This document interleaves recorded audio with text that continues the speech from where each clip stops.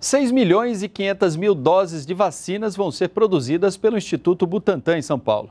O Ministério da Saúde investiu mais de 375 milhões de reais para a aquisição das vacinas contra a hepatite A e da tríplice bacteriana, que protege contra o tétano, difteria e coqueluche. As doses começam a ser distribuídas no segundo semestre.